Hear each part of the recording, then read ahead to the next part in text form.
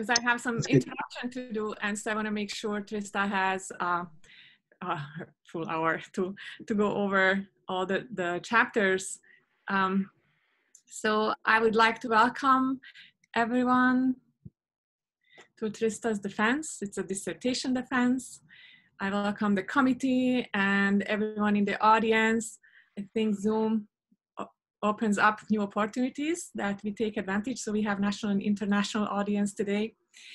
And so let me take you back to 2016 when Trista started this journey of graduate study. Um, on this photograph, you can actually see Trista holding a placard proudly, winning a national virtual poster contest.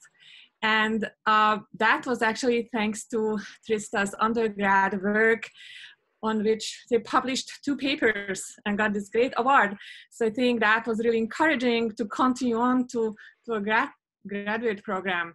Uh, little did Trista know that you would end up in shady places in Hawaii and not only surrounded by the nice paradise as everyone imagines it to be, um, that we would go into the dirtiest waters and um, even despite warning signs from others, because in fact, the, the research that Trista embarked on um, is about wastewater, so cesspools and uh, leaky sewer lines.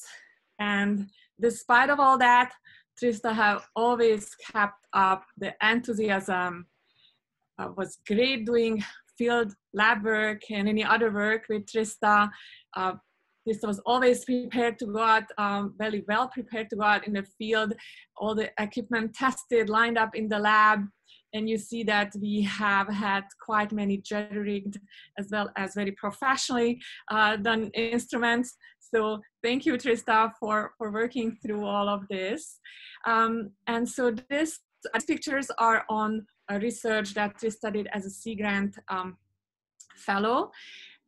Then um, Trista became a Data Science Institute fellow and finally EKY scholar. That took her to, uh, that took Trista to um, a bit cleaner waters and more sunshine.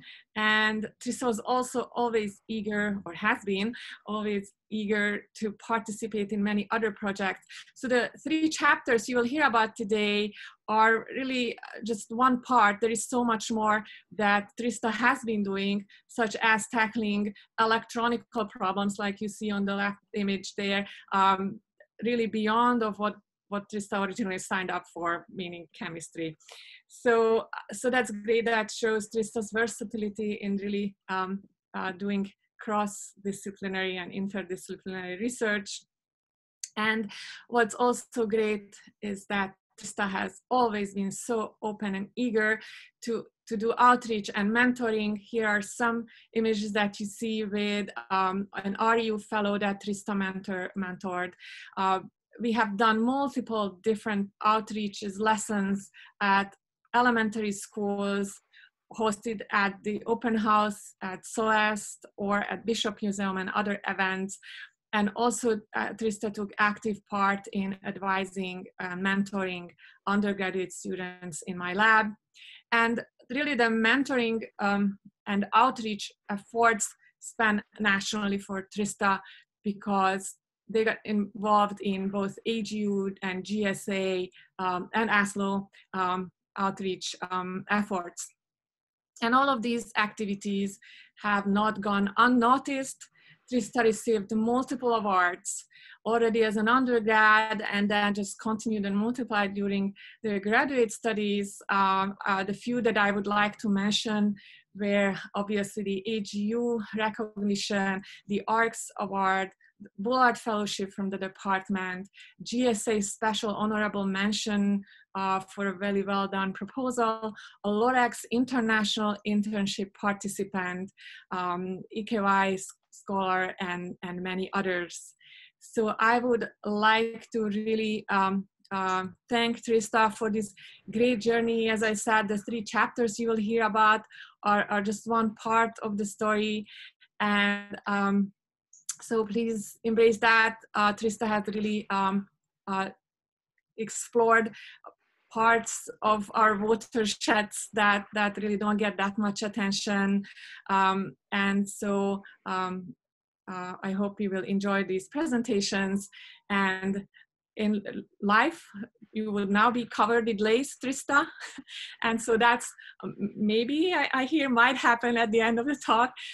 Nevertheless I would like to invite everyone um, despite um, uh, of course the defense not yet being successfully done but I am hopeful and so we will uh, have a little celebration at five o'clock today, Hawaii Standard Time. Please email me or Trista if you don't yet have a Zoom link. I will send it out to the usual list um, after the talk, after the defense. And with that, I don't want to use any much any more of Trista's time. Um, Trista, the mic is yours. Thank you, Henrietta. That was a really nice introduction. I just got to um, real quickly pop up um, that and that. Um, let me just do that. All right. Uh, can you all see my screen or can someone confirm that I'm sharing? Yep. Great. Thank you. Um, I want to thank everyone for attending. It looks like it's a large crowd. Um, and I think I'll just jump right in. Oops, there it is. Okay, great. Um, before starting, I wanted to give a quick overview about the organization of the presentation today. Uh, first, I will go over a brief introduction that introduces the concepts relevant to the rest of the presentation. After that, I'm going to discuss three chapters of my dissertation, all which relate to the use of geochemical tracers. And finally, I will wrap up with a quick conclusion that summarizes the take-home messages from the presentation. The overarching objectives for my dissertation aim to convey the importance of groundwater in the context of water quality, and to do so through the use of geochemical tracers. The main goals are to one, link groundwater and its impacts to water quality ridge to reef, two, improve wastewater tracing in natural waters using novel tracers, and three, using a combination of groundwater and wastewater tracers, look to the future, aiming to address the question, how will sea level rise impact coastal water quality? To help contextualize the rest of the presentation, I want to first cover the relevant parts of the water cycle. Precipitation falls on the land, and then this can either run off over the surface as stream flow, or it can infiltrate into the ground as groundwater. This groundwater then travels and can discharge to streams as stream base flow, or to the coastal ocean as submarine groundwater discharge, or SGD. Importantly, uh, water, both surface water and groundwater, connect the land to the ocean. Total SGD, or the sum of fresh and saline SGD, is influenced by both terrestrial and marine forces, which can be important to distinguish from one another, particularly in the context of water resources and pollution. The primary terrestrial driver is the difference in the groundwater level, or the hydraulic gradient. From the marine side, forces such as tidal pumping, wave setup, localized pressure gradients, and long-term ocean water fluctuations all influence the magnitude of SGD.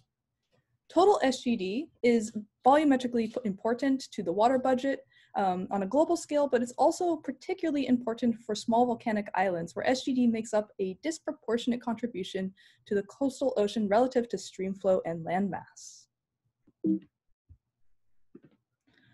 Groundwater is not only volumetrically important, it's also important from a chemical perspective because it's comparatively enriched in nutrients, metals, and other chemical constituents derived from land use. Groundwater is easily contaminated and natural remediation can be challenging in low oxygen environments typical of the subsurface. In comparison to pollution associated with surface runoff, which tends to be episodic in nature, groundwater represents a continuous source for contamination to reach natural waters. SGD is a well-established vector for excess nutrients, metals, and carbon to reach the coastal ocean, leading to poor water quality, harmful algal blooms, eutrophication, and coral reef degradation. Wastewater is a common source of contamination worldwide. Globally, an estimated 1,900 trillion liters per year of wastewater is gener gener generated, 80% uh, of which is released to the environment untreated. So the map here shows the percentage of the population that is connected to wastewater collection. For instance, this is about 80, or sorry, 71% of the population in the US.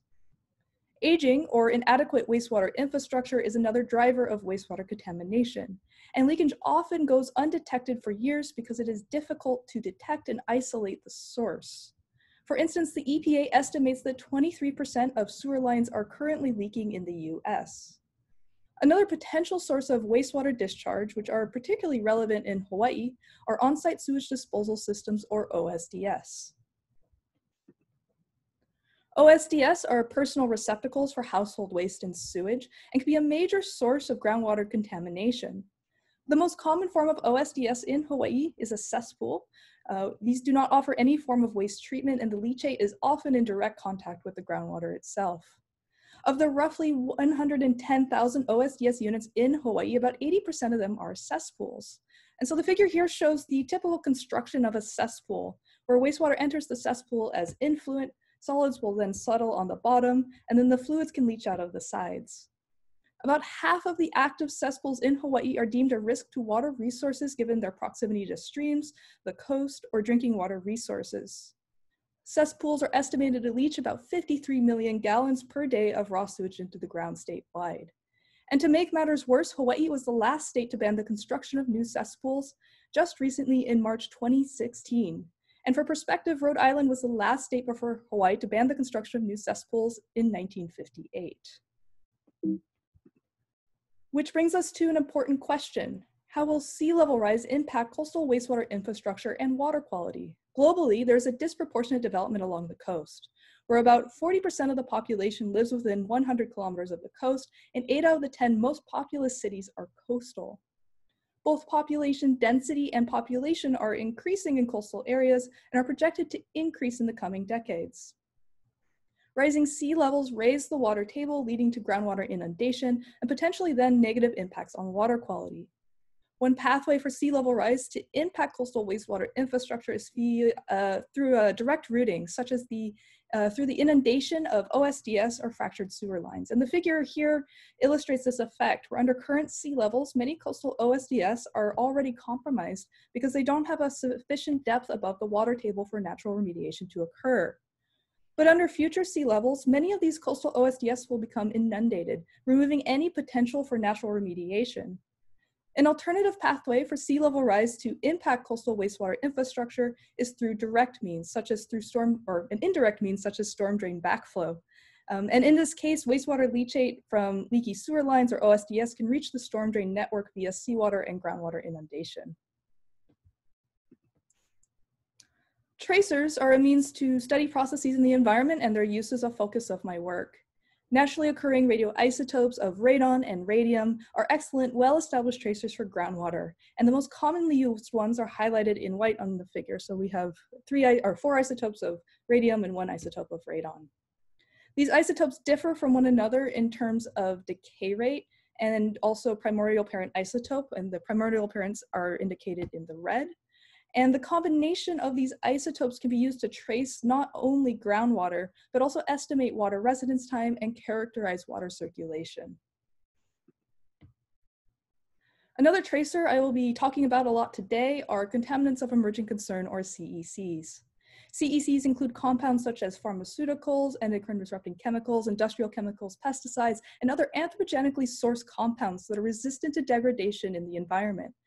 As such, they're considered environmentally persistent, generally in trace quantities and are sourced from poor removal efficiencies in wastewater treatment plants, sewage leaks, and industrial and agricultural runoff. Most CECs are also unregulated. And even in trace quantities, CECs have been demonstrated to have negative impacts on the ecosystem. And for instance, even nanogram per liter quantities of endocrine disrupting chemicals, such as those found in birth control pills, have been linked to increased intersexuality of invertebrates. While their degradation pathways differ in the environment, CECs can also be used as a tracer for anthropogenic pollution. The table on the bottom of the slide highlights the behavior and degradation pathways based on the chemical parameters for the compounds I will talk about today. What I really want to highlight here is that the behavior is quite different between compounds, but this is also something that we can use to our advantage in the context of tracing wastewater. All right, so that concludes the introduction. Moving on to chapter two, entitled Parallels Between Stream and Coastal Water Quality Associated with Groundwater Discharge. This chapter aims to demonstrate the linkage between land and the coastal ocean through groundwater discharge in a polluted watershed. The motivation for this chapter is to connect groundwater discharge to both streams and the coastal ocean and connect these to water quality. Studies rarely consider the whole system as a continuum and instead tend to focus on either streams or the coastal ocean. But as you can see from the figure and probably from your own experience, there's no physical boundary between streams or the coast, nor separating baseflow to streams from SGD. This figure illustrates a cross section of groundwater resources for the windward side of Oahu flowing into Kaneohe Bay. Upslope, the streams are fed groundwater by the dikes as high level aquifer baseflow. Perennial streams in this area can comprise a large portion of groundwater compared to surface runoff, commonly up to 70% during the dry season. Closer to the coast, streams are instead fed groundwater by basal aquifer baseflow from the freshwater lens. And then in the coastal ocean, SGD is the main source of groundwater to water bodies.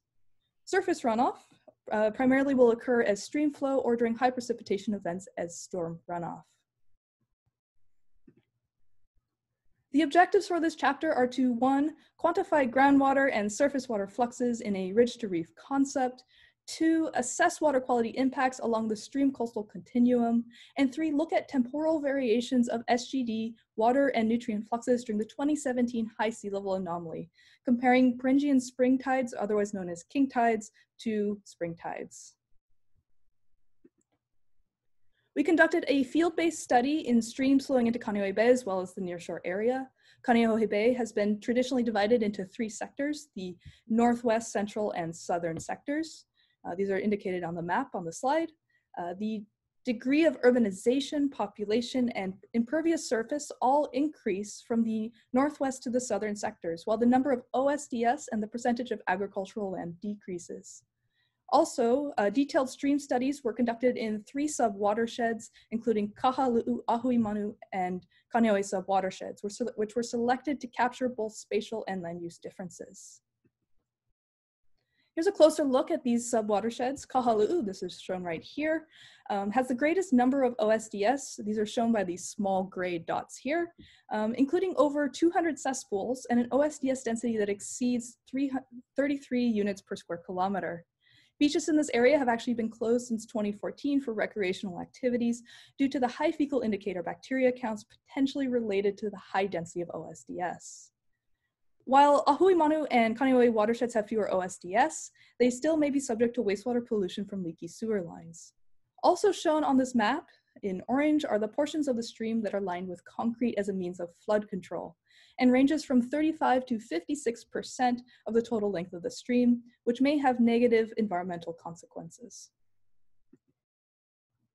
To investigate groundwater and surface water discharge to streams in the coastal ocean, I used a combination of radon and stream discharge measurements to quantify groundwater and surface water flow, Mauka to Makai or ridge to reef.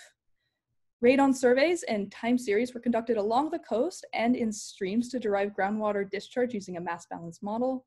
And then coupling radon and stream discharge measurements, surface water and groundwater fluxes were then partitioned and allowed for discharge proportion of the stream or coastline to be quantified. In addition to the groundwater story, nutrients were collected um, from surface water and groundwater in streams along the coast and from upland wells. Um, and there were over 180 samples collected in total. Uh, we have results for both dry and wet seasons, but today, in the interest of time, I'm only going to focus on the dry season. Here we have radon concentrations in becquerels per cubic meter in streams and the coastal ocean for the study area. Um, surface water concentrations are shown by the lines and then groundwater samples are shown by the dots. The major takeaway here is that because radon is a tracer for groundwater, any location where the color is warmer than this medium blue indicates a groundwater input. This map demonstrates that both groundwater discharge, or that groundwater discharge is a prevalent to both the streams and the coastal ocean in the study area. Now that we have evidence for groundwater discharge, what's actually in the water and where is it coming from? Previous studies have really focused on the role of surface runoff and stream flow, uh, in delivering nutrients to the coast, particularly for Kaneohe Bay, but our results demonstrate that these are really primarily sourced from groundwater. 82 to 95% of the nitrogen flux was sourced from groundwater. Uh, and again, this includes both stream base flow and SGD, and this was for the Northwest and Southern sectors. Digging into this a bit further, we were able to demonstrate that these nitrogen fluxes are primarily derived from SGD, with stream base flow contributing 21 to 42% of the total nitrogen to the system. These results really highlight the importance of groundwater as a contributor to water quality. And SGD, while it is receiving increasing recognition as a frequently neglected um, part in many water quality studies, it still um, is frequently neglected and needs to be addressed more. And this is only going to get worse. During the summer of 2017, Hawaii experienced anomalously high king tides, which are projected to become the typical spring tidal height in the next 30 years. With increasing sea level and tidal heights, the unsaturated space, which is where the OSDS currently reside, will become smaller, meaning there's an increased chance for groundwater contamination. So we conducted two radon time series at Kahalu'u Beach Park to compare king tide and spring tide groundwater discharge. During the spring tide, we found average SGD rates of 0.04 meters per day and dissolved inorganic nitrogen fluxes of about 0.38 moles per day. For the king tide, average SGD rates were more than three times greater than the spring tide, and dissolved inorganic nitrogen fluxes were almost four times greater. I'm going to come back to this point again in chapter four, but what I want to highlight here is the significance of the result. So while the Hawaii Department of Health has mandated the conversion of all cesspools to septic tanks by 2050, with increasing sea levels, coastal OSDS are projected to become inundated. And this is in addition to increased groundwater and nutrient discharge, which we already know are negatively impacting coastal water quality. Our major findings from chapter two include one, groundwater fluxes, which again include both baseflow and SGD, are equivalent to those derived from surface runoff. Two, nutrient concentrations in fluxes derived from uh, SGD were greater than those found in streams. And three, king tide SGD and nutrient fluxes were greater than those observed during a spring tide, which have concerning water quality implications for the future. We're going to briefly leave Hawaii now for chapter three, which is entitled Submarine Groundwater Discharge, a previously undocumented source of contaminants of emerging concern to the coastal ocean, Sydney, Australia.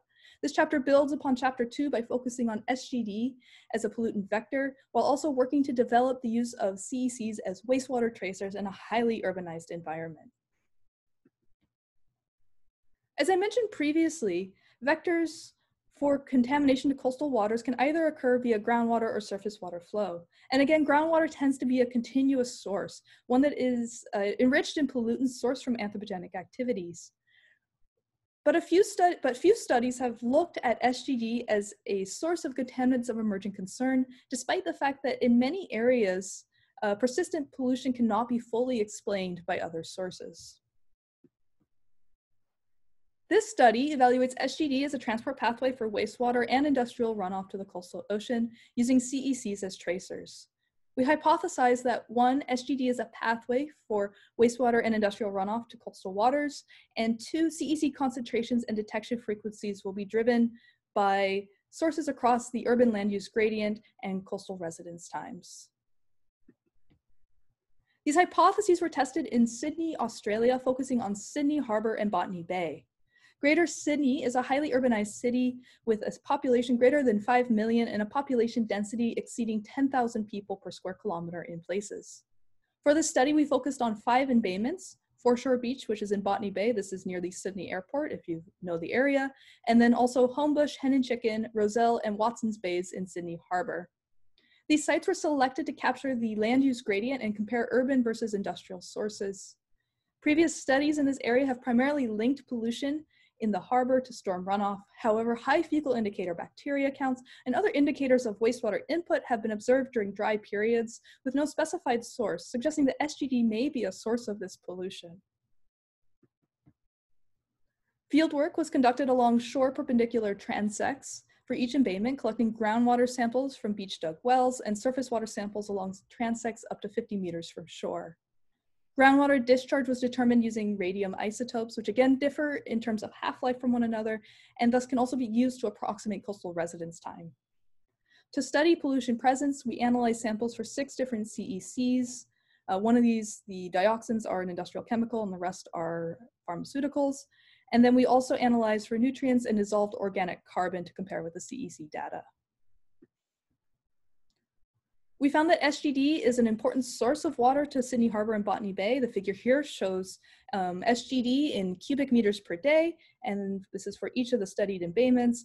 And then um, we also have the range for advection rates given in centimeters per day for each site. SGD and advection rates were highest at Foreshore Beach and lowest at Watson's Bay.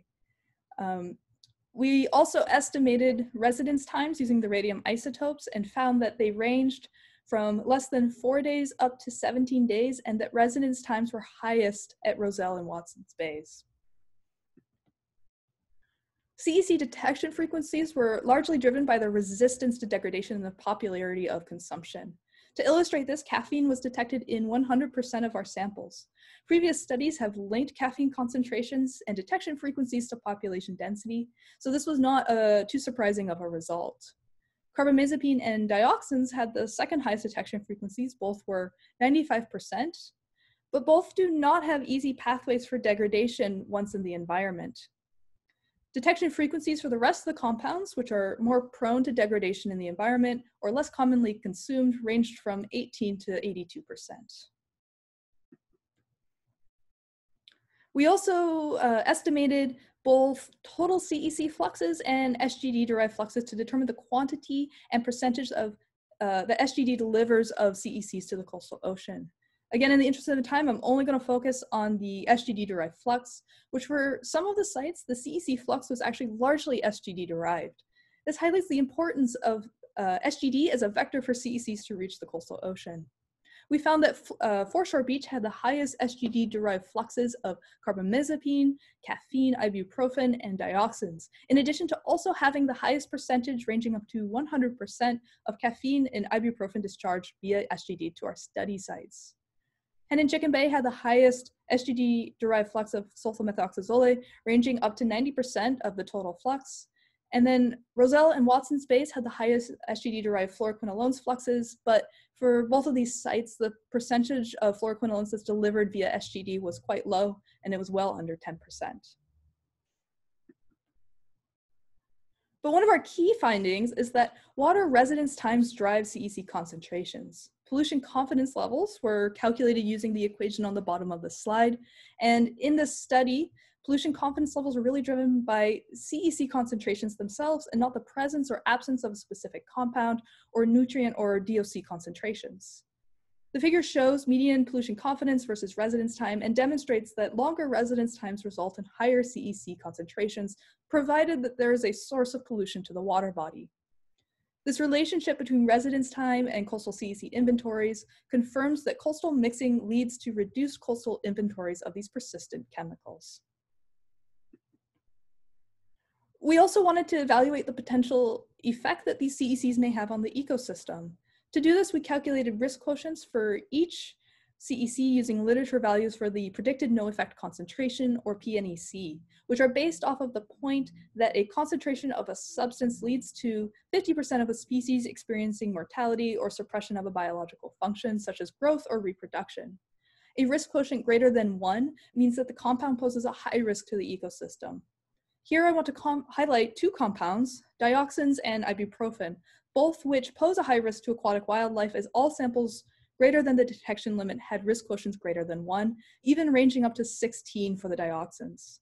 This means that despite the fact we have observed these compounds in nanogram per liter concentrations, they still pose a high risk to the ecosystem. CECs, while applied in the study primarily as tracers, should arguably also be considered pollutants in this case as well. Our main findings from chapter three include one, for the observed embayments, coastal residence time plays a major role in regulating CEC inventories, where water mixing leads to decreased CEC inventories. Two, um, SGD plays a major role in delivering CECs to the coastal ocean. And three, dioxins and ibuprofen were in concentrations that pose a high risk to aquatic wildlife. Last but not least, we'll move on now to chapter four, entitled Increasing Coastal Contaminant Fluxes with Sea Level Rise. Current evidence for tidally driven groundwater inundation of wastewater infrastructure under high spring tides. This chapter aims to link findings from chapter two and three from a future looking perspective. This chapter was motivated by the fact that Model-based studies show groundwater inundation of coastal wastewater infrastructure under future sea levels or even during king tide levels occurring today. In Hawaii, development is concentrated along the coast, often at sea level, meaning that changes in sea level are direct threats to coastal infrastructure. For instance, these photos are from the industrial district of Mapunapuna. This is located near the Honolulu airport. And this area experiences nuisance flooding during spring tides or heavy rains via that actually it comes out through the storm drains. And one can only expect situations such as this to become exacerbated in the future. The hypotheses for this chapter are one, spring tides can be used as a modern day proxy for future sea levels, allowing us to gather field-based evidence of, or information about tidally driven inundation of wastewater infrastructure and its discharge to storm drains in the coastal ocean.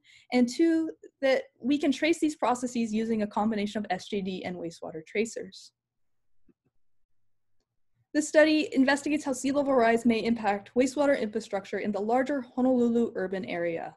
We looked at two pathways for discharge. The first was direct discharge to the coastal zone via SGD, and the second was through storm drain backflow.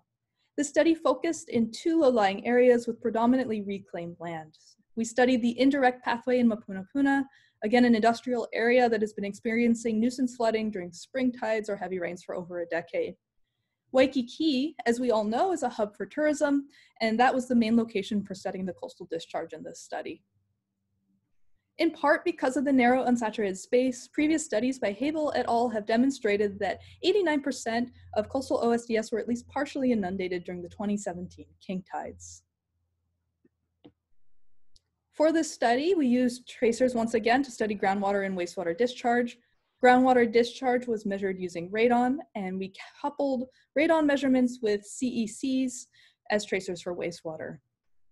Radon time series were conducted during spring tides to document groundwater discharge, and we collected samples during low, mid, and high tide for CECs as well as nutrients to investigate the wastewater connection. Here are the radon time series results for the Waikiki coastal sites. Radon concentrations are shown in the red line.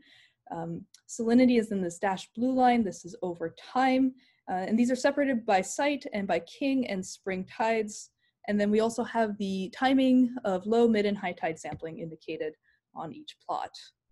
What I really want to highlight here is that during the king tide, SGD fluxes were up to 3.4 times greater compared to the spring tide for coastal sites, demonstrating increased groundwater discharge and connectivity. In Mapunapuna, two out of the three storm drains showed significant increases in both radon and salinity at high tide, demonstrating a tidally influenced connection between groundwater and the storm drains. These sites are also about 500 meters from the coast, so it's impressive to see a tidal influence of this magnitude. The other storm drain site, SD3, which is not directly connected to SD1 and SD2, had decreasing radon concentrations from low to high tide coincident with increasing salinity, suggesting a different scenario is occurring, at least for the groundwater inundation story at this site but these results still indicate a groundwater connection to the storm drain.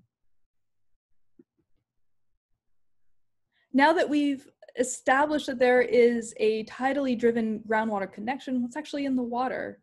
Um, I don't have time today to go uh, into detail about everything shown in the figure. What I really want to highlight here is that this is a highly dynamic system. The plot shows sampling location by low, mid, and high tide. That's what the L, M, and H mean by study site.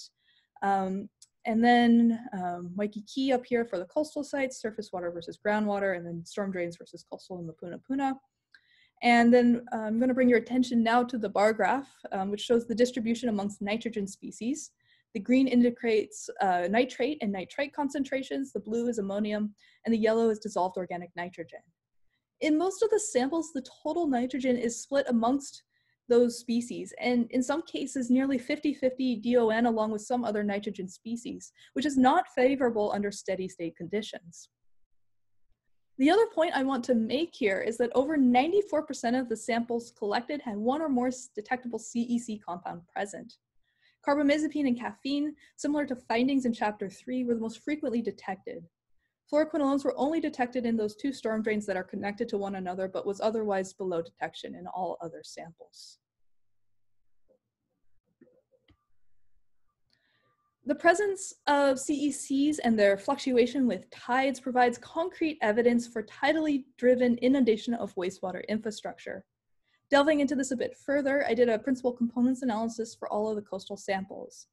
So here, these are all the same PCA, but are color coded differently according to different groupings. So A shows groundwater versus surface water, B shows low, mid versus high tide, C shows king tide versus spring tide, and then D is by sampling site. These groupings can be really broken down into reducing versus oxidizing conditions, where reducing conditions are more prevalent when terrestrial forces are the dominant control on groundwater discharge. At high tide or during king tides, there's a greater presence of oxygenated conditions from the influence of the well-oxygenated seawater. Let's now break this down from the perspective of tidal heights. So here we have low versus high tide. Waikiki is up here and Mapunapuna is here. And the gradient coloring on top of the land indicates cesspool density. Um, and then we have also CEC and nutrient scores by study site.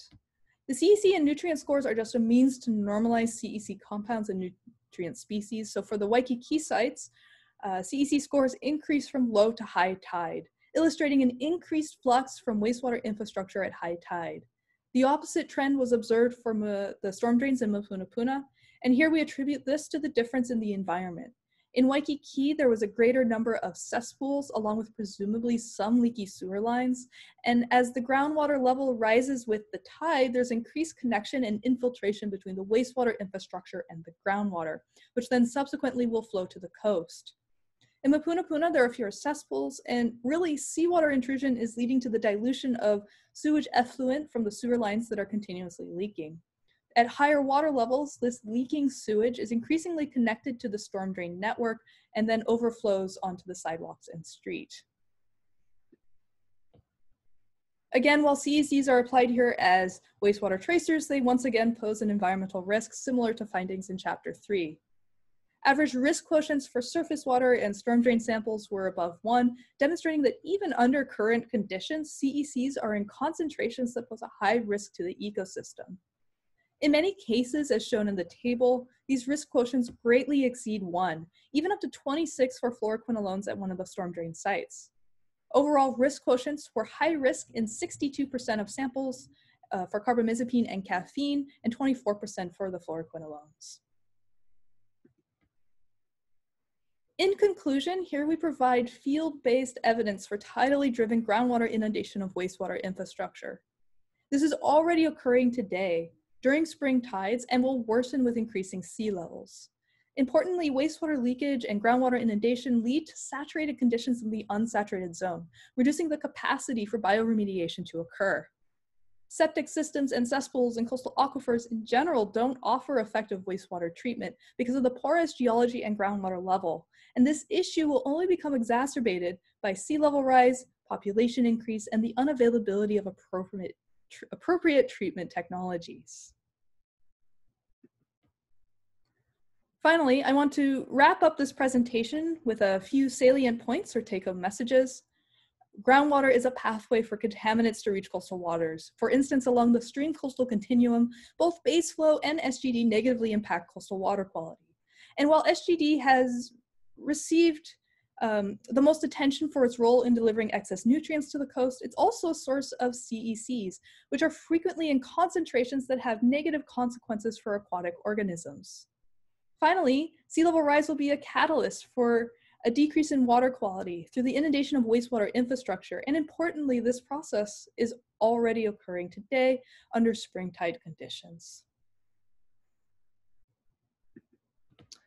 I want to take a couple moments to thank everyone. Uh, I won't, I can't thank everyone. I have too many people to thank. That'd be a whole nother hour long presentation. Um, but none of this work would have been possible without the support I've received.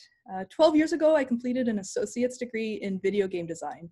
And while I had always hoped to have the opportunity to attend university, I didn't think it was ever going to be an option for me. So if you had asked me then what I would have been doing in 2020, defending a PhD would have been nowhere near that list. Um, but I also guess a global pandemic and staying inside for eight months also wouldn't have been on that list. So I guess it's it's hard to predict the future. But first and foremost, I want to thank Henrietta for her inspiring and supportive advising. I've always felt that she's been in my corner from the time I started working in her lab as an undergrad until now. And throughout this, she has constantly motivated and encouraged me to seek out opportunities to approach science rigorously and innovatively and to challenge myself. And I, I would not be here today without Henrietta's support, so thank you. I also want to acknowledge my committee, Brian, Chip, Scott, and Harry, for their support and sharing their knowledge with and expertise with me. I look forward to applying the, all that I've learned from all of you over the years to future endeavors. Um, I also want to thank Bridget for taking time out of her busy schedule to be on my comprehensive exam committee, and Bob, who was on my master's committee and was very helpful for the first chapter of this dissertation. I also need to thank numerous funding sources that have contributed to the science and the success of my PhD, as well as the Hawaii Department of Health, or Hawaii Department of Transportation, and the Honolulu of Water Supply for providing access to field sites. I've had the opportunity to participate in several projects or receive funding from various projects over the course of my graduate school career that I, I didn't discuss today. So I want to thank everyone involved with the Hawaii Data Science Institute and the Ike Wai project for uh, giving me the opportunities to further develop my data science skills and apply them to projects that address water quality and resources. Um, I've also been very fortunate to have awesome and supportive uh, office mates. Um, Diamond and Brittany, you two are the best. Thank you for all of the great advice and support over the years. I miss seeing you guys in person and going to the office, and I, I hope we can all hang out again soon. Um, I also want to thank Arlene, Lily, and Susan for all of their help over the years from the financial and administrative side. Um, clearly, I would have been completely lost without your guys' help, so thank you so much. This PhD required a lot of field and lab work, which was only successful because of the people here who helped.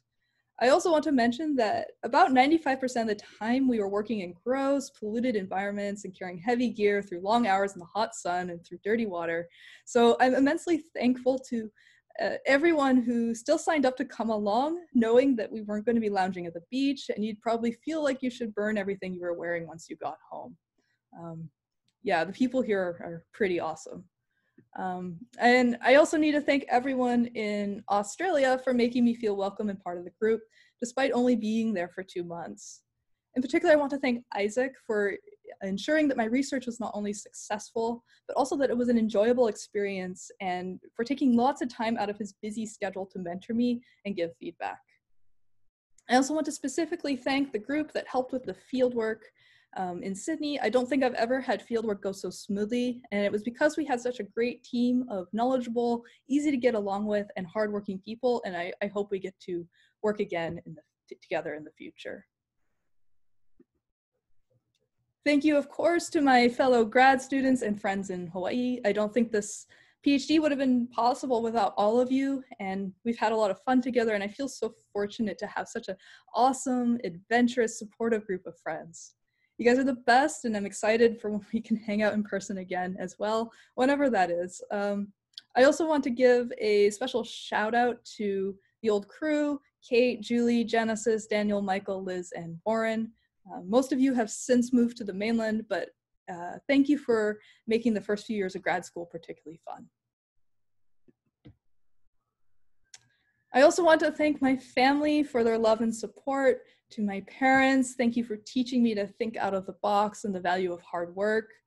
To my sisters, thank you for being awesome and all of the good times, both in Seattle and when you came to visit me here.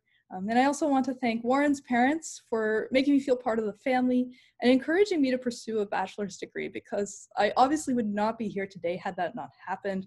And now look at what you've done. This is, I have done all the school I can do. Um, and finally, I want to thank Warren and Breadfruit. I could not have asked for a better support network. throughout the years, we have had um, all sorts of crazy adventures. And because of Warren, um, my worldview and ambitions have greatly expanded. Uh, Warren has been very patient and supportive, and really my number one fan, and I could not have done it without him. I also need to thank Breadfruit, who I see is now on the camera, um, for being a good boy and for all of the love he gives and whose enthusiasm for 2020, once we started working from home, has really made this entire pandemic much more tolerable. And finally, I want to thank all of you for attending today. Um, and with that, I'm happy to take any questions.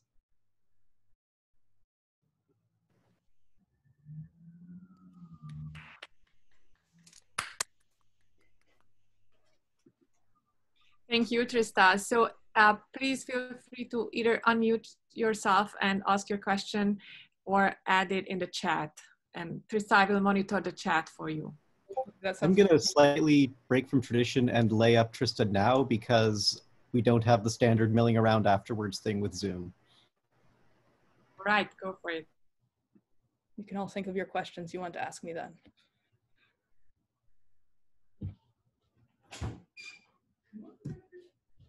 I want to encourage the audience to uh, pose their questions. The committee members will, will have plenty of time after this session, so please go ahead. Uh, this is Russell from the city and county of Honolulu. Uh, some of the, one of the questions would be, uh, what would you suggest in terms of the city and the state of Hawaii in terms of how do we address if this is a significant portion of the pollution is coming from wastewater? What are other communities doing or what are other states that uh, have uh, cesspools located near the coastal areas, what are they considering uh, doing? Well, I think, um, okay, so there, there are multiple parts to your question. Just keep answering. Okay. Um, I, you know, the, there's one aspect in which I think Hawaii is somewhat unique um, in that it's, um, we're very highly developed, but, um, okay. Thank you. Oh, Thank you, actually, everyone. Actually, oh, there's more. Oh, there's more. Okay. Uh, um, Hawaii is uh, very highly developed. We're a first world um, place, um, yet we have so many cesspools. And so I think there, it's kind of a unique problem there in some ways. Um, I think, you know, there's some really interesting um, thoughts going on right now with um, using different kinds of um, bioremediation in cesspools or alternatives that may be cheap replacements for cesspools that I think could be kind of intriguing, kind of using the activated um, charcoal methods. Um, and I, I, I, think that might have a key in this. You know, but it's really hard to say because it is such a, um, it's a challenging question, right? We have so much development and economic development along the coast. We can't, and we don't have the space to really move back, right? So what do we do? Um, I, in general, I would think we need to increase our monitoring of wastewater to waters in general and have a better idea of really what's in the subsurface.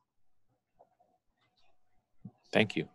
Uh, the last point I wanted to make was uh, I guess you had a slide uh, regarding uh, Mapuna Puna and sea level rise. And I just wanted to let you know that uh, Mapunapuna was historically a fill area and it was placed over uh, deep lagoonal deposits.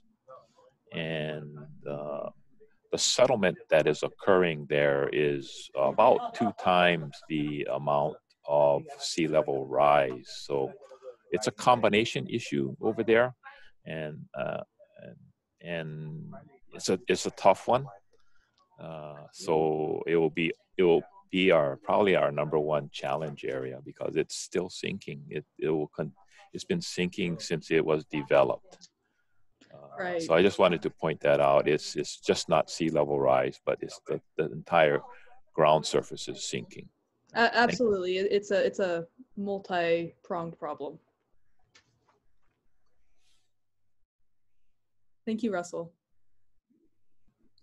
Steve Martel's hand is raised, Trista. Oh, um, let me see. I don't know. Trista, can you hear me?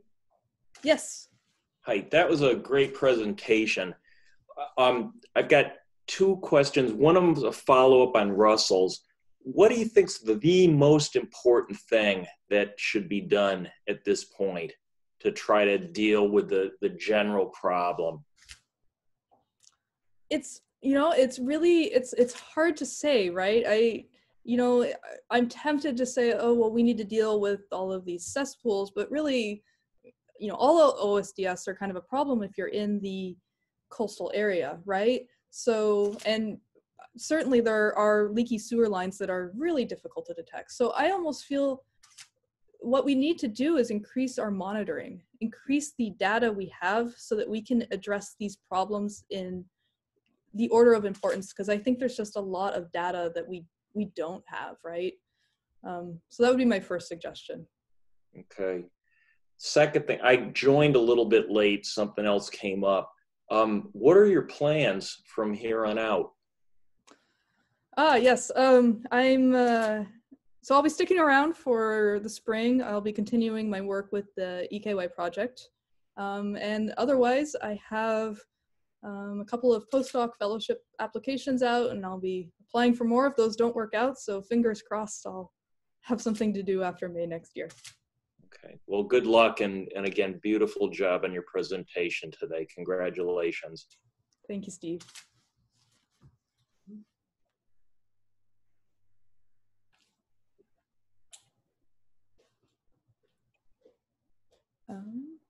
Trista, Brian here.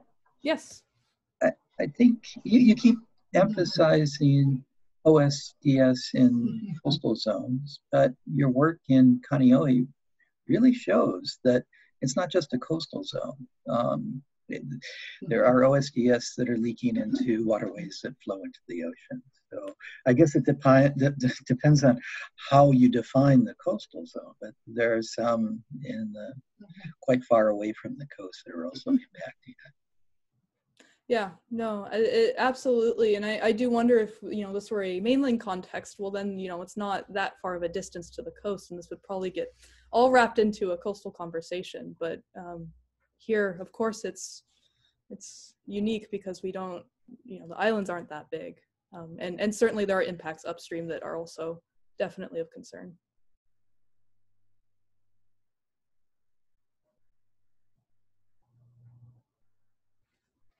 We have another raised hand. Jacob, please uh, go ahead. Hi, hey Trista, it's it's Jake from a few years back from the REU program. Um, I just want to say I think it's yeah I had a great presentation.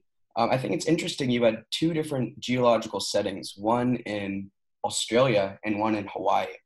So I was wondering if you found any differences in submarine groundwater discharge uh, pathways between the two areas where you know, uh, Australia may have more predictable stratigraphy where maybe it's more fluvial or floodplain settings uh, this discharge would travel through. But um, Hawaii would have maybe a less predictable basaltic geology in which it would travel through. So I was wondering um, how this would apply to maybe, uh, you know, on the mainland where, where we're built upon, you know, the same kind of stratigraphy and how this may differ um, in Hawaii. So sure. Um, it's worth mentioning in Sydney there it's it's also not very predictable. Um, it's a lot of sandstone, but there's a lot of anthropogenic fill, right? So you kind of reach this kind of, I mean, it's different, but you still have this kind of unpredictable pathway because really what what is in the subsurface? Um, kind of in the same way that we have lava tubes or, you know, just in the basalt. Um, certainly um, in other coastal areas, uh, particularly I would think on the uh, east coast of the US, um, groundwater discharge is significantly greater, right? So, um, or in areas it's significantly greater. In areas such as Florida, um, I would anticipate that this could be even more of a problem. Um, did I answer your question? Yeah, you totally did. Thank you so much. Uh, Trista, this is Russell. I, I want to thank you and Dr. Uh, Dulai. This is a great research. Uh, I commend her program for uh, uh, giving a better understanding of our uh, what pollutant sources there are in on our island, and and things. And I, I think the research was uh, what you did was uh, help me un- try to better understand what's going on. I think uh, you also mentioned your research in Australia, and one of the uh, emerging contaminants that you looked for was dioxin. So my question to you is, is dioxin still being used in Australia, even though we banned it here in the US? Is it, is it still being used worldwide? No, so, and it's been banned in Australia, um, I believe the same amount of time it's been banned here. It just doesn't degrade. So once it's there, it's it's like um, dieldrin, right? It just stays there. It's very hard to remove once it's there, and that's the problem there. Uh, and are there a lot of cesspool sources over there, or just leaking sewer lines uh, that are contributing to this? Uh, I guess you call it uh, so submarine groundwater (SGD). Mm-hmm. Um, for Sydney, no, it'd be primarily leaky sewer lines, but they do have septic tanks in some of the more rural areas, but not not where I did my field work. Okay, thank you. Mm-hmm.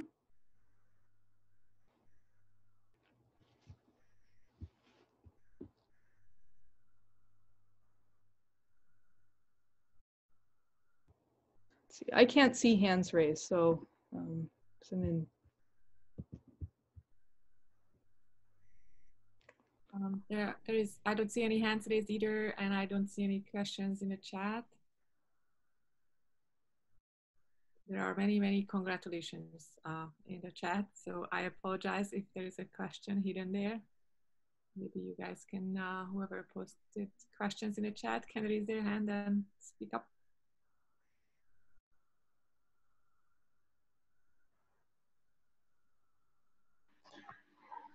Uh, hi, this is Eckert from Germany. I can ask a question? Yeah, of course. Ah, cool. Um, I wonder one thing, and it might be a bit naive question, but uh, we talked a lot about like uh, wastewater and, and pollution, and uh, how about cleaning? Like, like, um, that people are always going to be people, and people always make a mess. So, so that there will be dirt and wastewater and, and everything. So, um, is there a way like how to improve cleaning measurements, like technologically? Yeah, so um, one issue right now is that uh, the modern designs of wastewater treatment plants haven't really been designed to um, remove most CECs, right? They, they, because we're just, it's been, you know, really recently in the last 10, 20 years that they've really been even, we've been able to even measure them um, in these really small quantities in the environment there's a lot of active research in that area, looking at how we can improve wastewater treatment, for sure. Cool. Thanks, Eckert.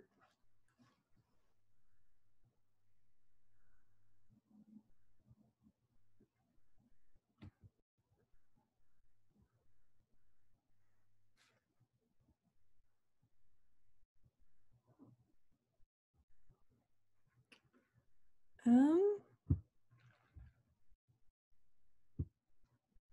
are there any other questions or?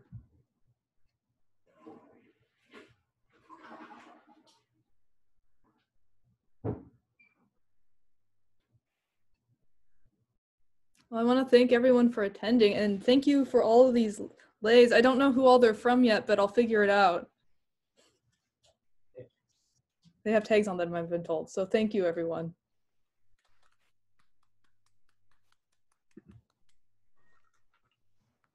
Thank you. Thank you, Trista, for the great presentation. Thank you for everyone in the audience. We had over 109 people uh, attending. Thank you so much. And so um, again, if you would like to join us at five o'clock, I will resend the Zoom announcement for that.